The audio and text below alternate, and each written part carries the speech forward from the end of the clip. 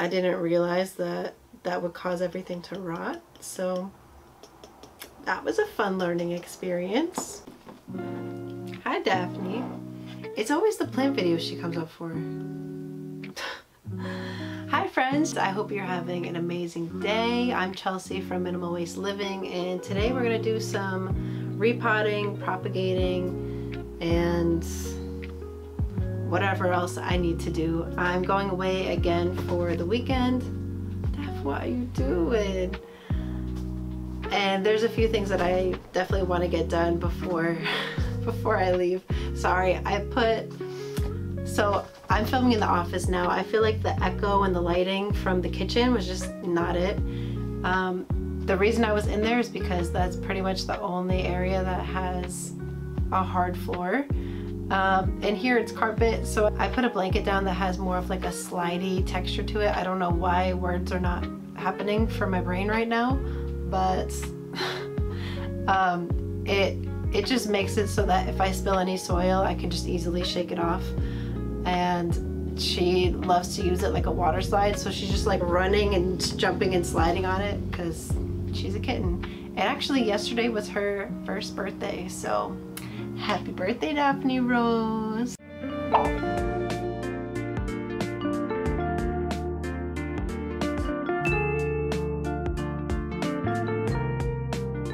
I think what I want to do first is pot up this begonia. I still don't know what this is yet. If you do know, please, please, please let me know. I don't know if it's really catching it, the light properly but it's really it's really beautiful and has these really dark leaves but it's kind of changing in color um, and getting a little dingy-ish. And I'm wondering if it's because I kept it in water for too long. So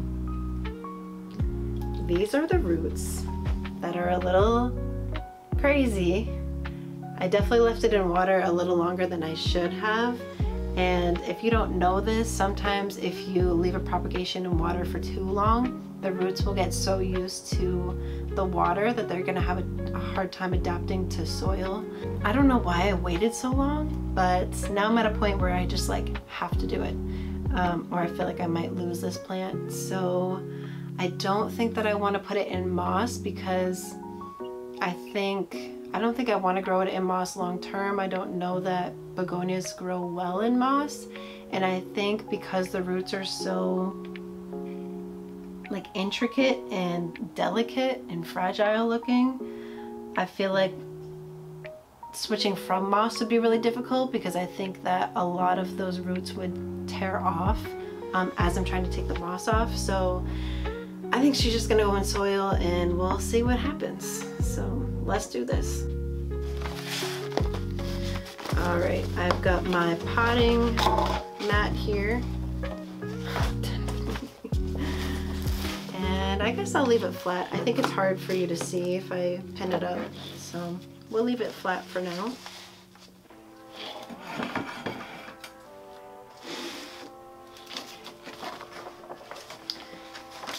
And I think one of the best things I did was put my soil in a bin instead of the bag. I, I've been getting gnats and I think it's from the soil, but I'm not sure yet. So this is kind of, I'm hoping that this will tell me whether it's the soil or not. Um, oh yeah, this is my little kettle that I use to water things. Uh, don't know why I haven't gotten a watering can yet, but I don't know. So I think I'm gonna pot her in. No, I'm not gonna use this. Okay, one second, please. Okay, so I think I actually am going to do terracotta. I was thinking maybe I shouldn't, but I think it would be good to get um, the aeration. And the only other nursery pots that I have are solid black.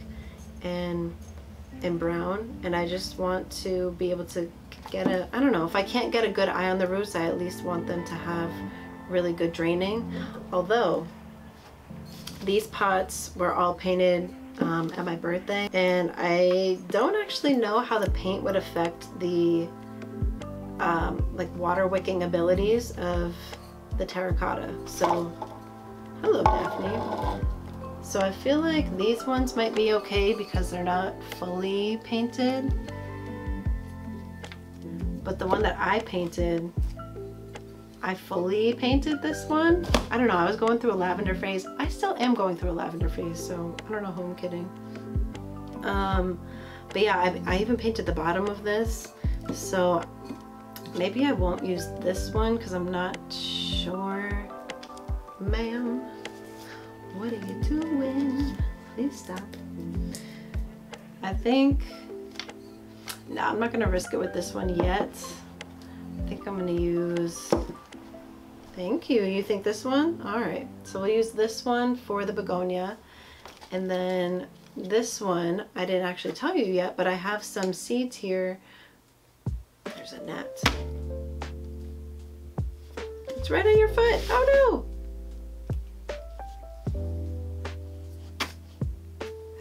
Ah, yes.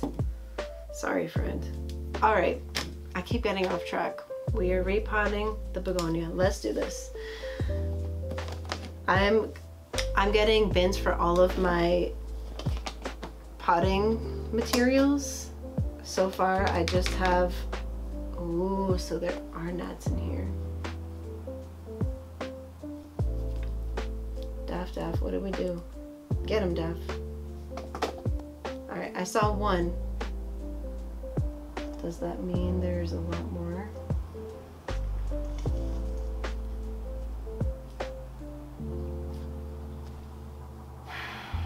Buggy in here.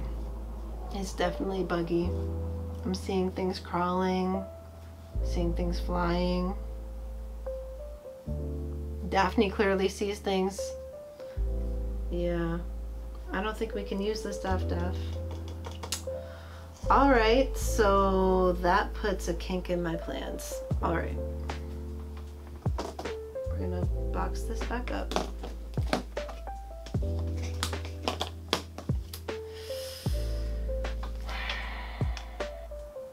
So I do have some, do I repot the begonia in moss or do I wait until I get my supplies to make my aroid mix? No, because it's not aroid. Hmm. Okay, while I let that thought simmer, we're gonna do other things.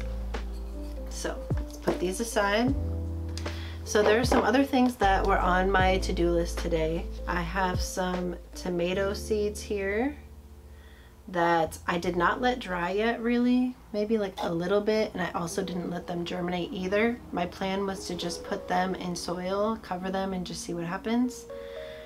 Now that I have this little hiccup here, I don't know what I'm gonna do, so maybe I will put them in like a little bag um, and let them germinate a little bit. So again, I will put that to the side till I figure that out. I also have an avocado here and I would love to grow an avocado plant. I haven't been able to do that. I've tried so many times um, and it has never gone well. Either they don't root or unfortunately one time I let it I let it unalive itself because I forgot to water it. Um, yeah, so there have been some, some times that I've tried this and it did not, didn't take, but we're gonna try again. So what I'm gonna do is I took off all of the avocado that was on the seed here, just kind of like ran it under water and just kind of took off all the stuff. And then now I'm going to put it in this container Boop. Just fill it with water and let it sit for the weekend probably. And then by that point, it'll make it easier to scrape off the, uh, the lining that's on the shell. And then once that's done, then I can sit it over water. This is the part where the roots are gonna come from. I don't know how well you can really see this, but I'll just kind of sit it over a container and let it grow some roots. And um, yeah, we'll see how this goes for the however manyth time this is. So, got my little kettle here. Just gonna fill it with water. And I do want to cover the whole thing with water. There we go. Put the lid on. Come on, friend. There we go. All right. And now we wait. So one thing on my to-do list is done. I like that. Now here I have what I've been told is a Syngonium albo that has reverted. I'm still not convinced. I feel like when I see Syngonium albos, they have much wider leaves than this. And so, I don't know, I've never seen one that looks like this. So if you have any other ideas of what this could be, please let me know. I haven't been able to to find out. Also, it doesn't help that the leaves are growing in really wonky, um, which is the reason that I want to propagate this. Do a little chop and prop. Um, yeah, this leaf is really struggling to unfurl. This one really struggles, so it's like each leaf that comes, they're getting smaller and like more deformed. So I don't really know what's going on with the plant. So we're gonna, we're gonna chop and prop. I, just before filming, disinfected my pruning shears. So we're all good there. And what I'm going to do is I'm going to make sure that I cut just below a node. So once I do that, I will show you. All right. So, we're gonna have to get up. Okay, I just had to do a minute of research because I started to second guess myself. Um, so yes, you want to cut below a node. Um, and a node is either where the petiole of your leaf, leaf, stem, petiole. So the petiole is technically a part of the leaf. This is the leaf blade. The petiole is what connects the leaf to the stem. And so where that came off of is a node, but also where these aerial roots are coming from are also nodes as well. So, and you need these nodes to be able to grow roots from. So we've already got some aerial, aerial roots started and so when I plunk this into some water, it, it'll start to grow some more roots. And those aerial roots will help the production of even more roots. So unfortunately, and maybe not so unfortunately, we will have to be losing this leaf. Otherwise it will just be in water and will rot anyway. So we're gonna chop this one off. Goodbye, friend. And we can't grow anything from just this leaf. Like I said, we need a, a, node and there is no node here. It's just the petiole and the leaf here. So unfortunately, if you're left with this, nothing you can do with that. So we'll put that to the side and then we will cut some more. So we've got another. So this that I have here is what we call a wet stick and that's because there are no leaves attached to this. So these ones have, have leaves attached to them so they can be propagated in water. This is something that I'll want to propagate in moss and from these nodes here you can see uh, the nodes right here. There's one on either side. That is where the roots will grow from and if I just put that in moss then hopefully they will start to grow some roots and uh, some new leaves. Again, we're cutting below the node.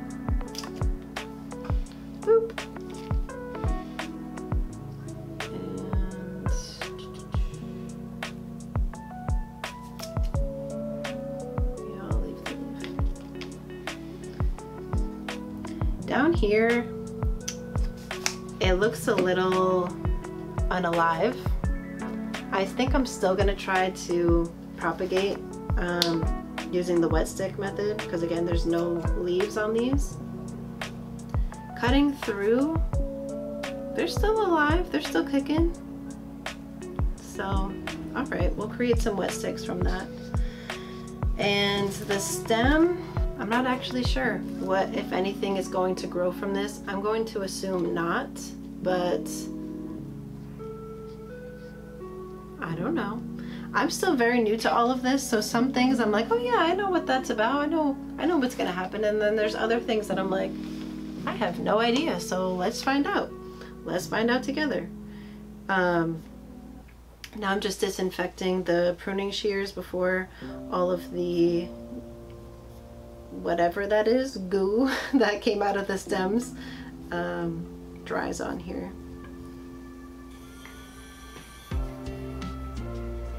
Let's find out what that is coming out of the stems because I want to know. Let's see.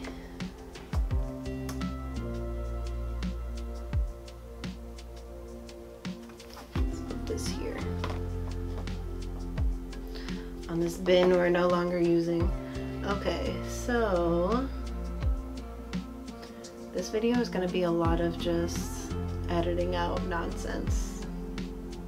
So you can see the areas where I cut the stem.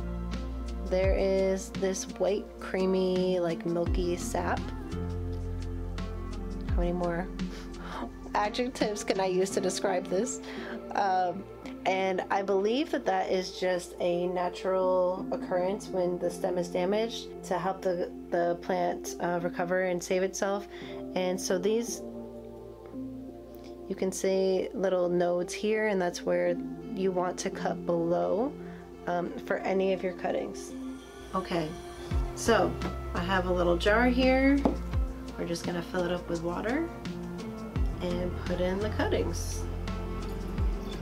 And then hopefully within a few weeks we'll have some nice roots growing. I'm also going to use take root powder.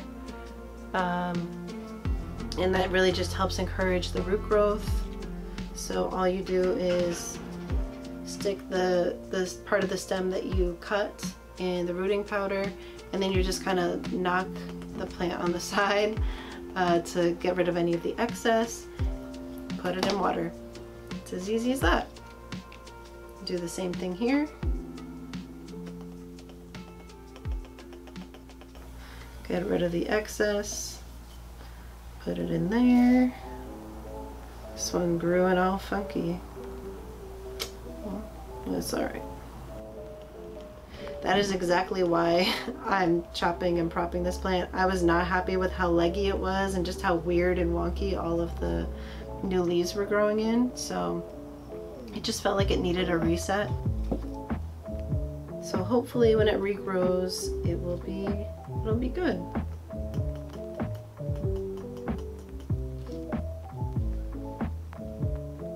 And I think I heard somewhere if you revert, if a plant of yours has reverted and you propagate it, you could potentially regrow the the variegation. I don't know if that's true or not, um, but I guess we'll see. So if this is really a reverted Syngonium albo, I guess maybe this could tell me um, if any new growth comes in and it's variegated, then maybe I'm wrong. But all right, so we've got two things on our to-do list, now off the to-do list. Don't know if anything can happen from this. There's a lot of roots here, but there's no nodes or anything, so yeah, we're just gonna put this over here for now. And what else is on the to-do list?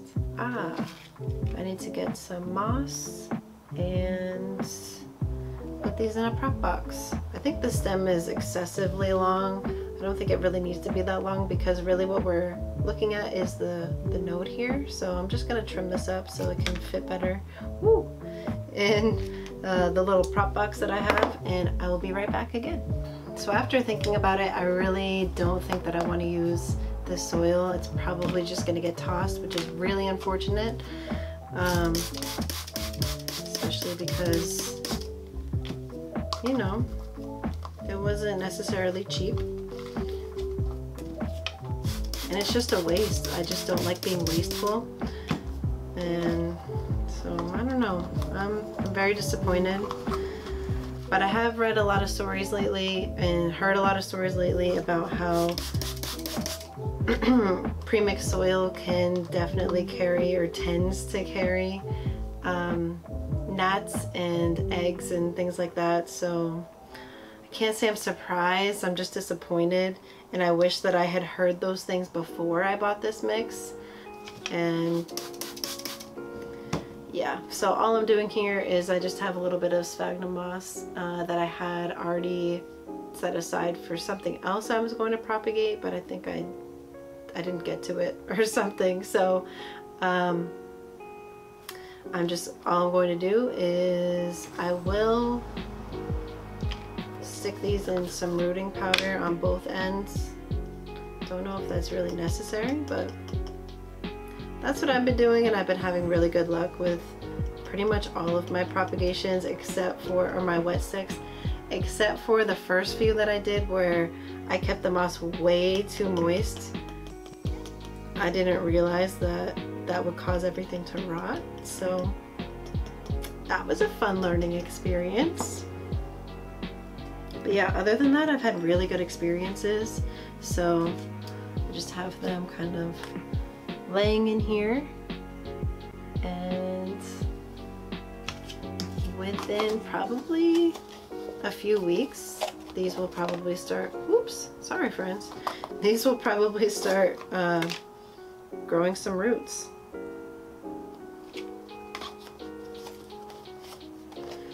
So that's good yeah so I think what I'm gonna do is I'm gonna look up if begonias can grow in sphagnum moss because that seems to be the only medium that I have right now other than like orchid bark.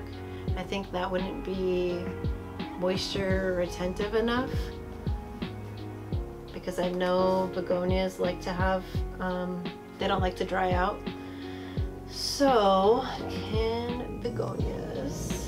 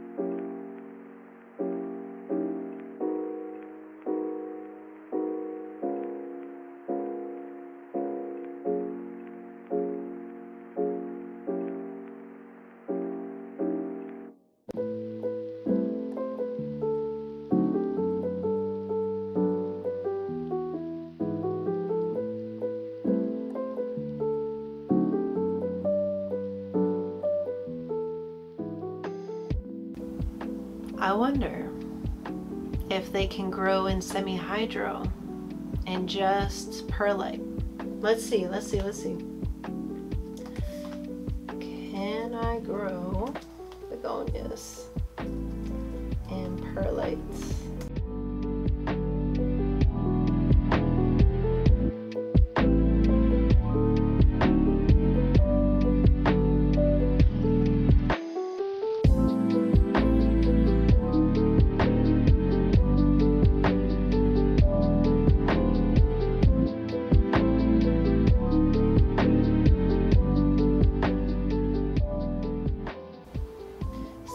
Have some ingredients coming for creating a chunky aroid mix, but part of that is coco coir, and I feel like that would be a decent medium for the begonia to grow in. Um,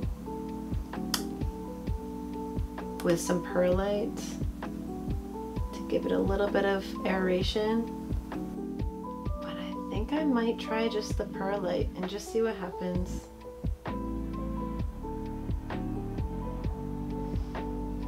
Yeah, you know what, let's experiment. I don't know, it's already not doing, I don't know, I feel like it's already kind of starting to go downhill a little bit. But then does that tell me that you don't like to just be sitting in water? This is a really cool plant, and I usually don't like begonias. I just like the silvery speckles on the leaf. And it changes so much in different lighting. I don't know what to do. This soil being what it is just threw off my whole plan. Uh, and why is there no information on people growing begonias in perlite? I cannot be the first person to think to do that. Maybe because it didn't work.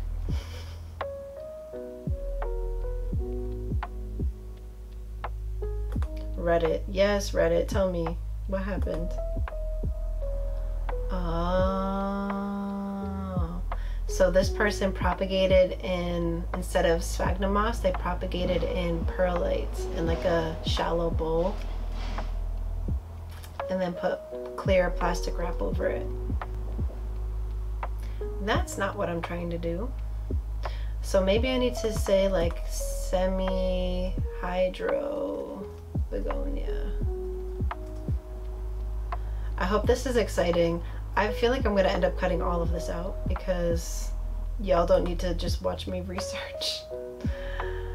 Ah. What time is it? Oh my gosh. In Pon and Leca. I don't think I have enough Pawnee things. Begonias in Leca. I don't have Leca. But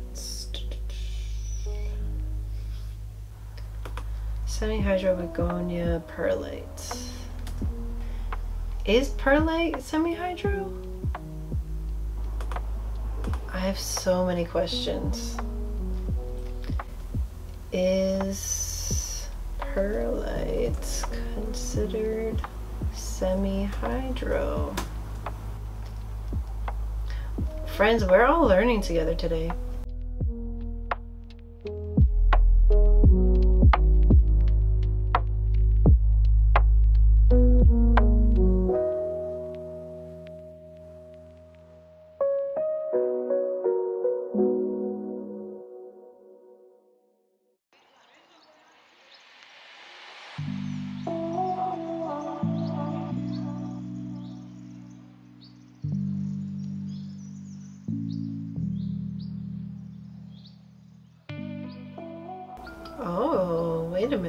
Minute. Is not a renewable resource.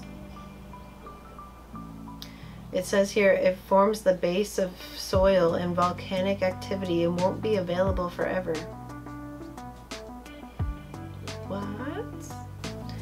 This article doesn't make sense. I think this was written by like AI or something because I don't understand what I'm reading.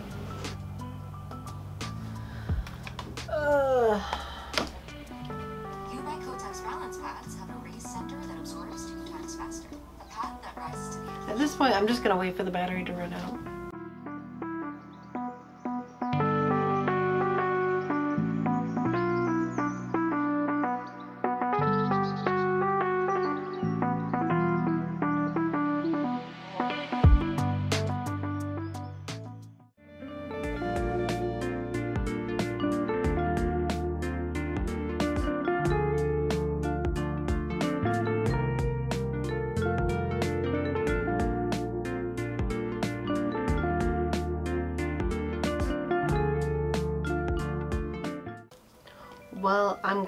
That I didn't just kind of impulsively pot up the begonia in perlite because from what I'm reading it seems like it, it feels like people aren't doing it for a reason. And I have read a couple of things saying that it wasn't great. Yeah. Yeah okay. So, where did you go?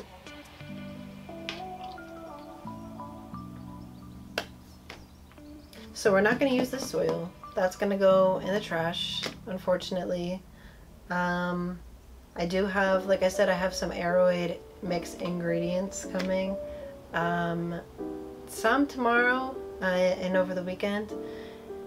And I'll probably just take from that probably the coco coir and the perlite. I'm definitely moving the house, the whole house, all of the plants to soilless mixes. Soilless mixes. It's hard to say. So a lot of these plants are going to get potted up on moss poles and yeah, just no more soil. They will be in aroid mixes that are chunky and then I'll I'll make variations of that chunky mix for other plants like the begonia and what else do we have over there? I think some of the plants that I just repotted, I'm gonna hold off on those like the coleus, uh, coleus Kong roses that that I potted up a couple of weeks ago. I think it's too soon to, to go make them go through that again. I have a snake plant that I just potted up too. Um, so yeah, I think a lot of them I'm gonna wait on, but I'm definitely going to eventually move everything over to soilless because the gnats are not it. And yeah. And also, I can't remember if I said this already, but my white butterfly syngonium has thrips again. So this is the third time now that I'm treating it.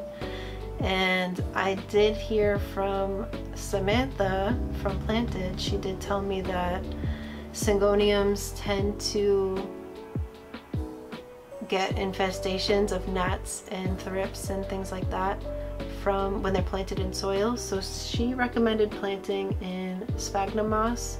So once, maybe I'll check on it and see if I can plant that up in moss today. I'll be right back. All right, so change of plans. We are, I'm gonna be patient. I'm not gonna do anything um, impulsively with this begonia here. It's already been waiting for weeks to get repotted. So I think it can wait another, you know, five or so days until all of the soil and everything gets here. So yeah, we're gonna wait on that. And what we're gonna do instead is repot the Syngonium white butterfly and sphagnum moss because yes, I just treated it for pests, but I treated it this morning. I just wiped down all the leaves, didn't see any pests in there and I think the best thing that I can do for that plant, even though it might go into some shock, it's pretty healthy, so I think I can handle getting a repot right now. I think that's the best thing I can do to help try to avoid this from happening again, especially since I'm going away. So let's do that, but first, let's clean up. All right, ready? And we're back. All right, so We've got the white butterfly here. It's in pretty good shape actually. So I think it can, I think it can handle what it's about to go through. Um, definitely handles the insecticidal soap really well the last three times that I've done it. And ideally that will be the last time. You step in water, what are you doing? You're so silly. You're not gonna like this because there's gonna be wet soil everywhere. But all right, so I, maybe I should hydrate the moss a little bit so it's got some time. So I just have a little bowl here. And I'm gonna put some moss in. And honestly, I don't think it's gonna need all that much. So.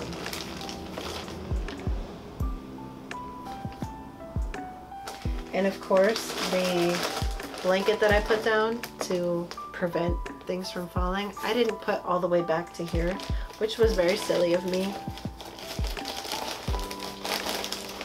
My thinking was that Daphne might knock something over the front side, so It covers the front very well, just not where I'm at, which is where it really needs to be. All right, so I've got a little bit of water here.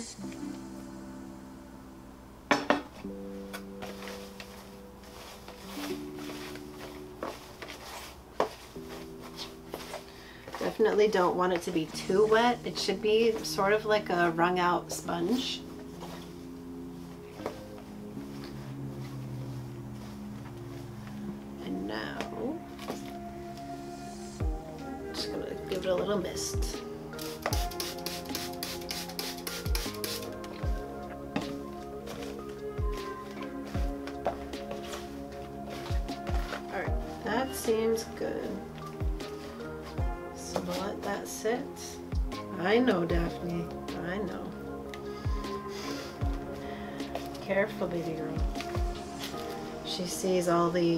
Gnats flying around. The worst thing I did was open that bin.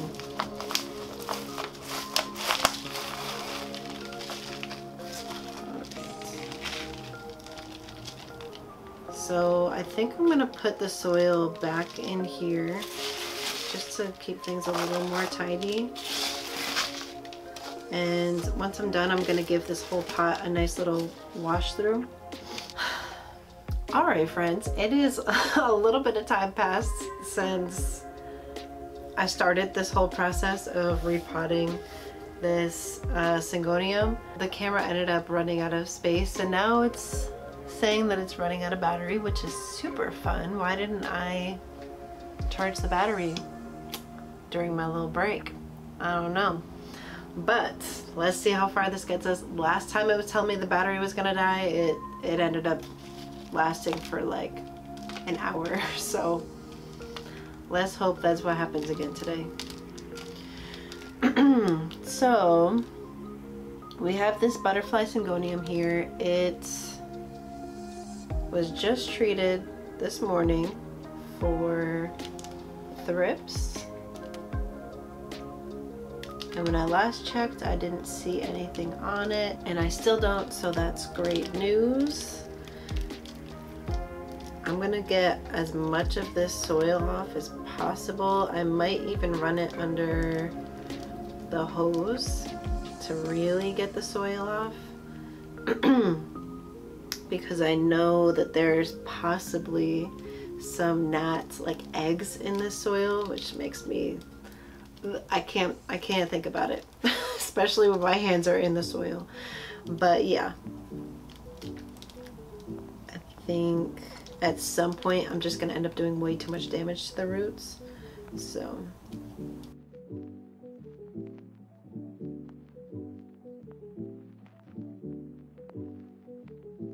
What is your most problematic plant? I feel like for me it's this one, surprisingly. Surprisingly it's not my Imperial Red that had the bacterial infection or the um, leaf blight. You would think that that would have been my most problematic plant, but it was sort of like as soon as I cut everything away and just isolated it and just made sure that I washed my hands every time I touched it, that, I mean, it's not that hard to do that. Um, and as of now, it still looks healthy. It's still growing. This is the one I've had to treat three times now within the last like two months. So this for sure is my most problematic one. I'm really hoping that getting it in moss will just get rid of all of these issues. It's now had thrips Did it have mealybugs? I think I saw like one or two. And I don't think I really treated it at that point. I think I just kind of like got rid of them um, by whipping the leaves. And I never saw them again. But yeah, so thrips three times and then a couple of mealybugs. It's like, what's going on with you? Why are you doing this? Why is this happening? Thought I saw something.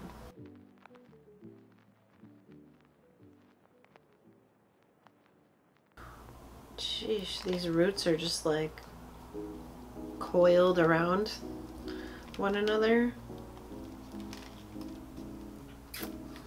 I don't know. This might be the best I can get with my hands.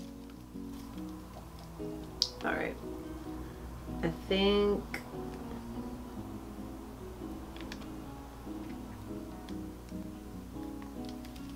Yeah, I'm going to run this under the hose. Unfortunately, I can't really bring you with me because I don't think I can get like a good camera angle of that. So friends,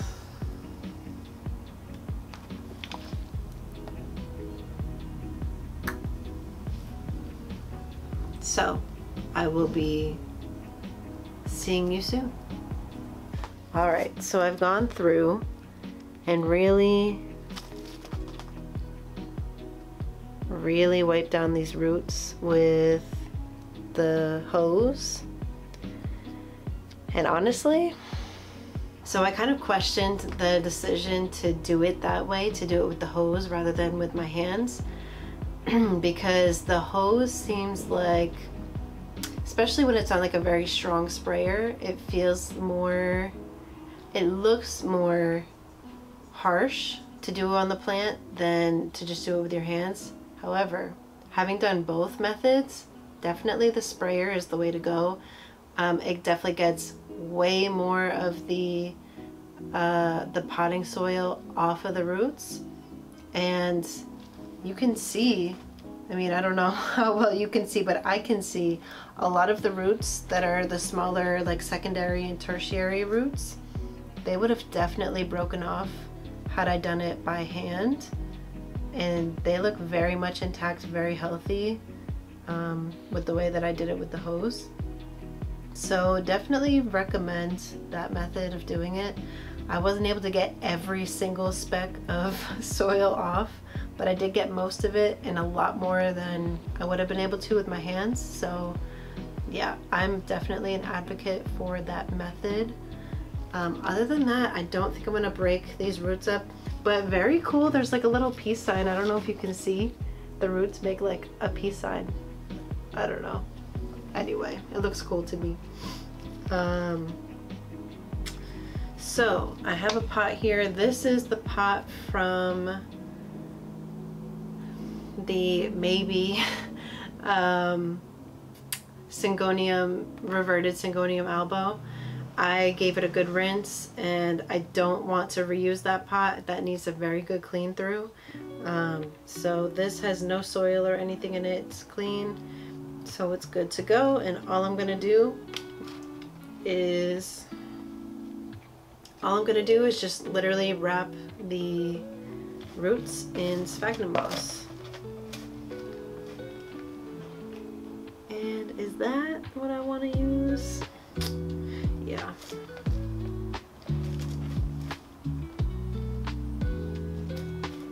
Just going to wrap them. We're gonna get the pot over here. We're gonna put a little bit at the bottom as well.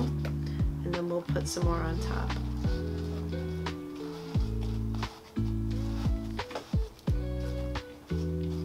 Just wanna make sure that they're really well covered. Okay, I got like the perfect amount of moss. I love when that happens. What is this?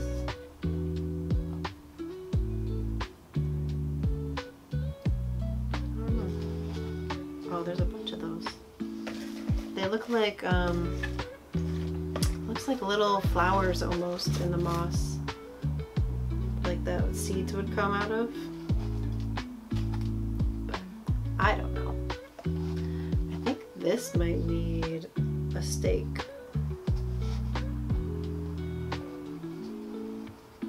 Because this medium doesn't really hold it up as, as nicely as the soil.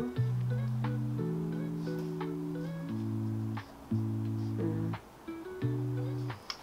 Well, I will get her a stake at some point, but this is hopefully going to save this plant from getting more and more and more thrips because like when I tell you it's been back to back to back, it's been back to back to back. so I'm very much ready for that not to be the case. This plant has been isolated since the day I got it. Um, so at least, at least I kept it isolated. I'm very glad about that. There was a point where I almost reintroduced it to or introduced it to all of the other plants. I'm so glad I didn't. So I think this is gonna just go back to the same spot. Um, and I don't know, the spot is right next to what is normally an open window in the kitchen And I'm like, is it the location? Because it's a great location, it's thriving, it's growing really well. Like literally every day I turn this plant towards the sun uh, so that like wherever it's growing towards, I'll turn it the other way so that it can kind of round out a little bit more in the growth. And every day it just like that all the leaves will just gravitate towards the sun. So literally every single day I'm I'm turning it. So I think it's getting really good really good lighting for what it wants and it looks really healthy. And what are you? Are you a thrip are you soil?